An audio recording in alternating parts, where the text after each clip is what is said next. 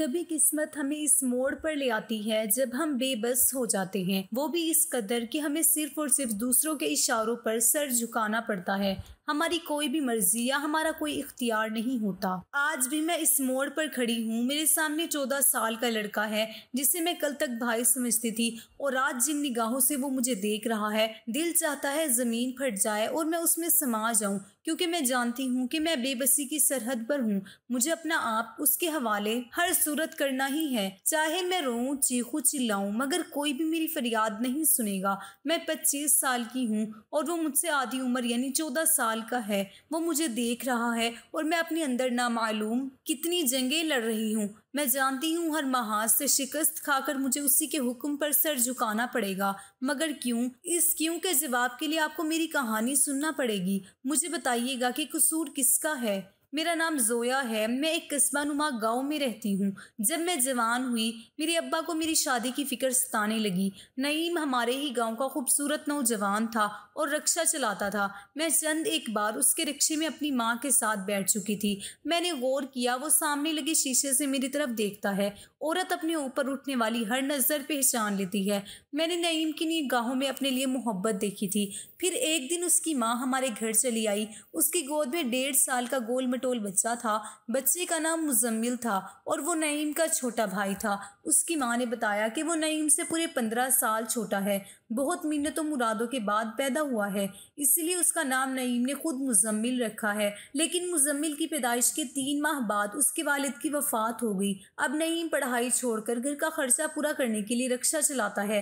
वो नईम के लिए मेरा रिश्ता लेकर आई थी। मैं उस दिन बहुत खुश थी। हम गरीबों के घर मेहनत कश का रिश्ता आना भी किसी नेमत से कम नहीं होता। सबसे अहम बात यह थी कि नईम के गाँव के चौधरियों के हाँ भी बड़ी इज़्ज़त थी और मैं भी अपनी सहेलियों से इतराती इतराती फिरती थी। फिर वो दिन आ गया। जब नईम मुझे दुल्हन बनाकर अपने घर ले गया, उसका घर भी हमारे घर की तरह छोटा था, मगर मैं समझती थी, जिस जगह पे मोहब्बत हो, वहाँ पर सब सान भी हो जाता है। पहली रात जिसके बारे में लड़कियाँ बहुत ख्वाब देखती हैं, मैंने भी उस रात के बारे में बहुत सोचा था। मैं बेहद खुश थी, लेकिन मेरी खुशी शायद चंद पलों की ही थी। बस एक पल और तमाम ख्वाहिशात, तमाम खुशियाँ मिट चुकी थी। उस रात जब नईम मेरे पास आया, उसके कदम लड़खड़ा रहे थे। जैसे ही वो करीब हुआ, मुझे उससे अजीब सी हमक महसूस हुई। उसकी आँखें लाल अंगारे की मानिंद थी और उसे कोई होश नहीं था कि वो क्या कह रहा है। उसे क्या कहना चाहिए? क्योंकि वो शराब के नशे में धुत था और उसी नशे में उसने ज़िंदगी की अजियतनाक शुरुआत की थी। सुबह होने तक मुझे लगा, मेरे अंदर की जोया की मौत हो गई है और ये जो बुत नज़र आ रहा है, वो सिर्फ़ दुनिया की खाना पूरी करने के लिए है। वलीमे में मेरी सहेलियाँ मुझे मुँह दिखाई का तोहफा पूछती रही और मैं मेकअप की तय के नीचे नीलो नील चेहरे लिए उनको झूठी मुस्कुराहट के साथ मुतमिन करती रही उस दिन मेरी ज़िंदगी का एक नया बाब शुरू हुआ। उस बाब के हर वर्ग पर सिर्फ़ दुख और दुख ही था।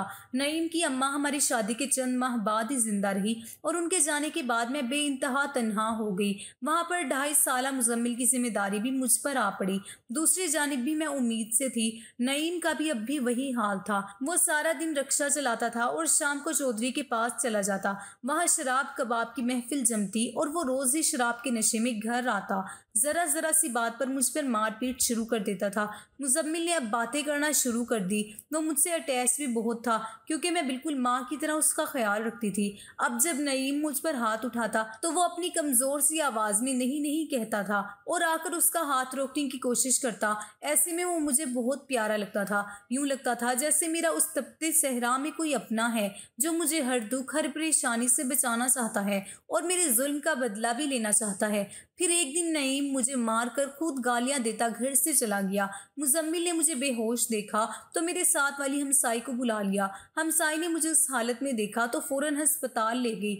उसी दिन मेरी बेटी रुबाब की पैदाइश हुई। रुबाब गोल मटोल सी बेहद खूबसूरत बच्ची थी। मुजम्मिल ने उसे अपनी गोद में लिया। मैंने उसे बताया, ये तुम्हारी भतीजी है। तुम इसके चचा लगते हो। वो इस उम्र में नहीं था कि रिश्तों की समझ आती, मगर मेरी हर बात पर सर हिला देता। नईम को जब पता चला कि उसके घर बेटी हुई है तो वो अस्पताल से मुझे लेने आया। सबसे हैरत अंगेज बात यह थी कि उसके हाथ में फ्रूट के शॉपर और बच्चे के लिए कुछ चीज़ें थी। उसने मुझसे पिछले तमाम रवैयों की माफ़ी मांगी और कहा कि अब मैं कभी शराब पीकर घर नहीं आऊँगा। ना ही वो मुझ पर हाथ उठाएगा। मेरी बेटी रुबाब मेरे लिए खुशकिस्मत थी। उसके पैदा होते ही नईम में एक अच्छा बदलाव आया था। मुजम्मिल भी अपने भाई को देखकर बेहद खुश हुआ, क्योंकि वो मेरे साथ नरमी से बात करता था। उस दिन हमारे घर में खुशियाँ ही खुशियाँ थी। नईम कभी अपनी बेटी के साथ खेलता और कभी मुझे खाने के बारे में पूछता।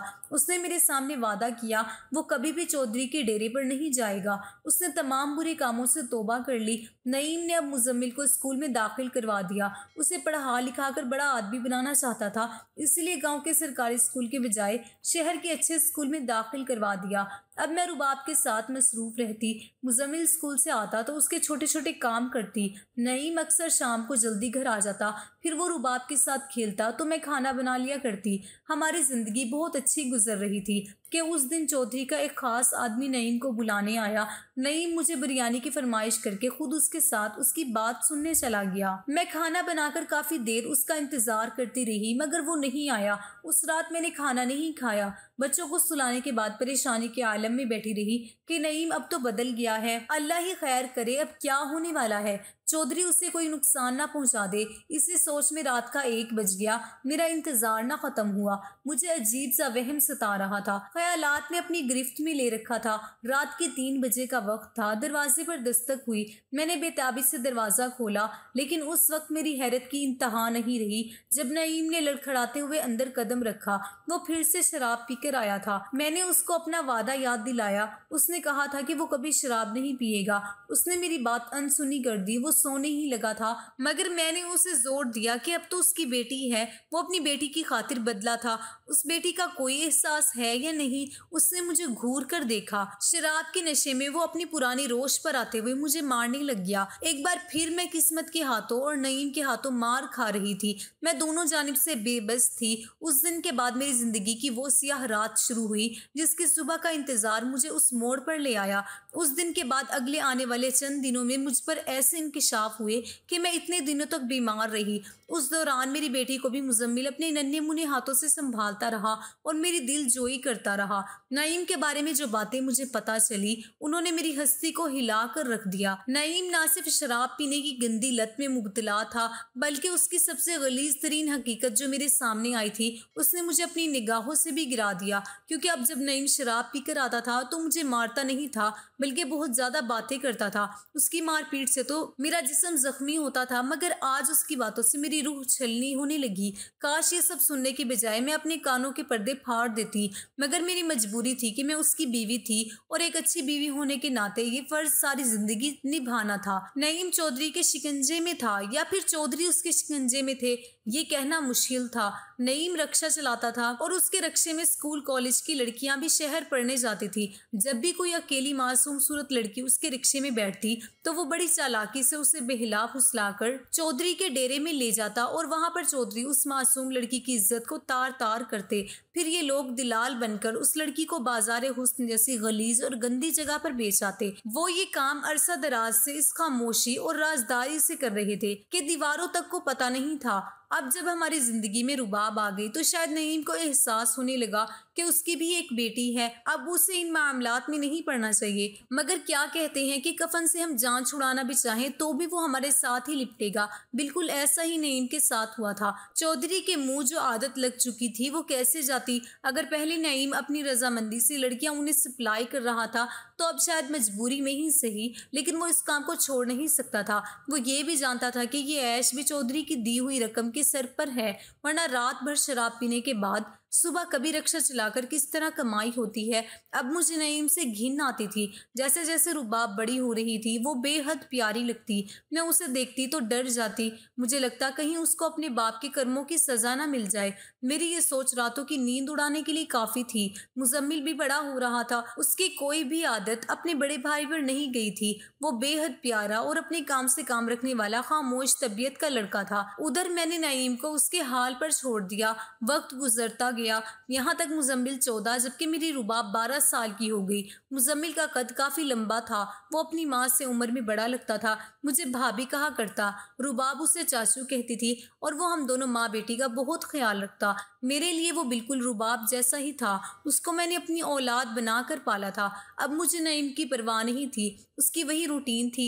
मैंने खुद को इन परेशानियों से और फिक्रों से आज़ाद कर दिया था। उन्हीं दिनों हमारी ज़िंदगी फिर से एक तूफ़ान की जिद में आ गई कि सब कुछ मलिया मेट हो गया। सब जिंदगियाँ न सिर्फ़ बर्बाद हो गई, बल्कि तबाह बर्बाद हो गई। उस दिन नईम के रक्षे पर एक बेहद खूबसूरत और तनहा लड़की बैठी, जिसका हुसन देखकर नईम की नीयत खराब हो गई और उसे कहने लगा कि उसे सड़क ठीक नहीं वो उसे दूसरी जानब से उसकी मतलूबा जगह पर छोड़ाएगा।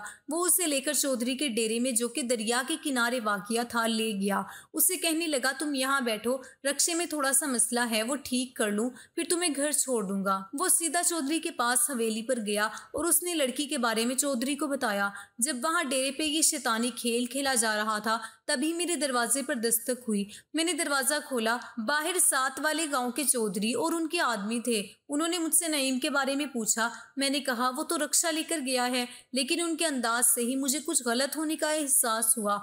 पूछने पर मालूम हुआ कि नईम के रक्षे पर साथ वाले गाँव के चौधरी साहब की बेटी थी, लेकिन वो अभी तक घर नहीं पहुँची। ये बात उन्हें गाँव के लोगों ने बताई थी कि चौधरी साहब की बेटी रक्षे में बैठकर घर गई थी।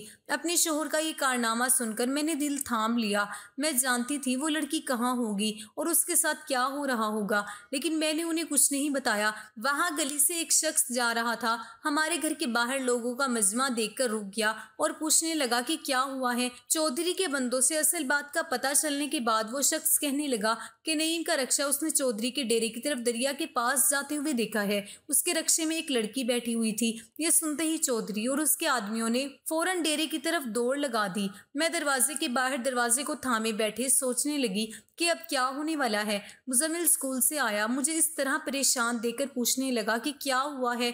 मैंने बताया तो वो मुझे तसल्ली देने लगा। यकदम मेरा ब्लड प्रेशर लो हो गया। रुबाब भाग कर आई। मुजम्मिल ने मुझे उठाकर अपने कमरे में लिटा दिया। दूसरी जानब यकदम पूरे गाँव में शोर मच गया। जैसे ही खबर चौधरी तक पहुँची, उन्होंने लड़की को वहीं छोड़कर भागने की कोशिश की। जब साथ वाले गाँव का चौधरी वहाँ पहुँचा, उसकी बेटी दरिया में डूब गई, लेकिन उसे फ़ौरन उसके बाप के आदमियों ने बचा लिया। अब वो चौधरी और नईम को ढूँढने लगे। चौधरी तो रूपोश हो गया। मगर बदकिस्मती से नईम उनके हाथ आ गया। उन्होंने अपनी बेटी का बदला लेने के लिए उसका भेजा उड़ा दिया। नईम वहाँ मौके पर ही हलाक हो गया और मैं बेवा हो गई। अब चौधरी ने पंचायत बिठा ली, जिसमें दो बड़े अहम फैसले होने थे। गाँव का रिवाज ये था कि जो शख्स किसी की बेटी की इज़्ज़त खराब करे, जवाब में उसकी बेटी को सूली पर चढ़ना पड़ता है, यानी वो दूसरे फरीक को दे दी जाती है। अब वो उसे जैसे चाहे उसके साथ सलूक करे, चाहे तो उसे मार दे, चाहे तो सारी ज़िंदगी नौकर और राखेल बनाकर रखे। या फिर उससे निकाह कर ले। अब ये उन पर मुनहसिर है। पंचायत में मेरी बारह साल बेटी को कुर्बान कर दिया गया। मुझसे छीन कर साथ वाले गाँव के चौधरी को दे दिया गया। वो उसे लेकर जा रहा था और मैं बेबसी से देख रही थी। मैं उन्हें रोक भी नहीं पा रही थी। मेरी मासूम बेटी रोती रही, चिल्लाती रही। कहती रही, मेरा क्या कसूर है? बाप के किए की सज़ा मुझे क्यों दे रहे हो? मगर किसी ने उसकी एक ना सुनी। सब लोग उसे लेकर चले गए। मैं उसे जाता देखकर सकते में थी। कि अचानक मेरी ज़िंदगी का एक और फैसला हो गया? ऐसा फैसला जिसके बारे में कभी मैंने सोचा भी नहीं था। वो भी हमारे गाँव का रिवाज था। जिस औरत का शोहर फोत हो जाता, उसकी शादी शोहर के छोटे भाई से कर दी जाती। मुजम्मिल को मैंने हमेशा अपना छोटा बेटा समझा था। मैं किस तरह से शादी कर सकती थी? मैंने बोलना चाहा, मगर वहाँ बैठे मर्दों ने मुझे खामोश करवा दिया, जबकि मुजम्मिल बहुत चीखा चिल्लाया, रोता रहा कि मेरी भाभी नहीं, माँ है। मैं किस तरह अपनी माँ से शादी करूँ? खुदा के लिए मुझे जान से मार दो, मगर इतनी बड़ी सजा मत दो। हम दोनों की फरियाद किसी ने ना सुनी और पंचायत ने हमें मियाँ बीवी बनाकर ही घर रवाना किया। नईम तो चला गया, मगर उसके जाने के साथ हम सबकी जिंदगियाँ सूली पर लटक गई। मेरी जान से प्यारी बेटी रुबाब को बाप के किए की सजा मिली, वही मैंने अपने बेटे जैसे देवर को खो दिया। हमारे बीच रिश्ता बदलते ही एक ऐसी खलीज हायल होगी कि दूसरे को बताना भी मुश्किल था। हम एक घर में रहते, मगर अजनबियों की तरह थे। एक दूसरे से नज़रें चुराए फिरते। दूसरी जानब रुबाब को चौधरी अपने घर ले गया। वहाँ चौधरी की माँ ने उसे देखकर चौधरी को उसके पास जाने से मना कर दिया। शायद ये मेरी कोई नेकी थी। जो मेरी बच्ची के सामने आ गई। चौधरी अपनी माँ की बात नहीं टाल सकता था। चौधरी की माँ ने रुबाब को अपने कमरे में रख लिया और फिर उसे स्कूल दाखिल करवा दिया। वो स्कूल का सबक भी पढ़ती और उसकी माँ की खिदमत भी करती। इस तरह चार साल गुजर गए। रुबाब सत्रह साल की हो चुकी थी। एक दिन चौधरी का बेटा लंदन से अचानक अपनी तालीम मुकम्मल करके आ गया। उसने घर वालों से रुबाब के बारे में पूछा। जब उसे हालात मालूम हुए तो उसने कहा कि वो इस लड़की से शादी करना चाहता है। चौधरी ने कहा यह मुमकिन नहीं। अगर तुम इससे वैसे ताल्लुक़ रखना चाहो तो मुझे कोई इतराज़ नहीं, मगर तुम इसे बीवी नहीं बना सकते। यहाँ पर भी चौधरी की माँ सामने आ गई। उसने मदाखलत करते हुए चौधरी के बेटे की शादी रुबाब से करवा दी। जिस दिन उसकी शादी हुई, उसी दिन चौधरी की माँ इंतकाल करके जाते हुए मेरी बेटी को महफूज हाथों में थमा गई थी। रुबाब के शोहर ने उसे बहुत प्यार दिया। उसकी ज़िंदगी की हर ख्वाहिश को पूरा किया। अल्लाह का शुक्र है मेरी बेटी की किस्मत मेरी जैसी नहीं थी। फिर एक दिन रुबाब मेरे घर आई। वो हनीमून पर लंदन जा रही थी। उसका शोहर मुझसे बहुत इज़्ज़त से मिला। मुझे कहने लगा, अब वो हमेशा मिलते रहेंगे। रुबाब जाते जाते मुझे कह कर गई थी कि अम्मी, आप भी अब मुजम्मिल चाचू को दिल से कबूल करके मियाँ बीवी की तरह रहना शुरू कर दें। मैं नहीं जानती थी ये मेरे लिए किस कदर मुश्किल था, मगर मेरी बेटी ने पहली बार कोई फरमाइश की थी कि वो मुकम्मल मोहब्बत करने वाली फैमिली चाहती है। उसकी ख्वाहिश को पूरा करने के लिए मैंने अपने दिल को आमादा कर लिया। अब मैंने मुजम्मिल के साथ जान कर वक्त गुजारना शुरू किया। वो चिल्ला कर रह गया, मगर मैंने भी हिम्मत न हारी। शुरू में वो थोड़ा घबराया, मगर फिर आहिस्ता आहिस्ता सब कुछ मामूल पर आ गया। फिर एक दिन मैंने उससे अपने दिल की हर बात बता दी। मेरे हालात सुनकर उसकी भी आँखें नम हो गई, मगर वो मेरी आँखों में आने वाली आखिरी नमी थी। उसके बाद मुजम्मिल ने मुझे कभी उदास नहीं होने दिया। आज भी अपनी छोटी छोटी बातों से मुझे हंसाता है, मेरा यूँ ख्याल रखता है, जैसे कोई नया जोड़ा होता है। आपको अगर ये कहानी अच्छी लगी है तो इस वीडियो को लाइक कीजिए और इस तरह की मज़ीद कहानियाँ सुनने के लिए हमारे चैनल को ज़रूर सब्सक्राइब कीजिए। कहानी सुनने का शुक्रिया। आपसे मुलाकात होगी अगली वीडियो में। तब तक के लिए अल्लाह हाफिज़।